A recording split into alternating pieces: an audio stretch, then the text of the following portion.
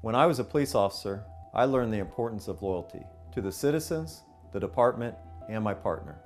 Since I became an attorney, I treat each and every client with the same unwavering loyalty, and we won't stop fighting until you get the compensation you deserve. I never see you as just a client. I consider you my partner. We never stop fighting for our clients. Call the Pelham Law Firm for a free consultation.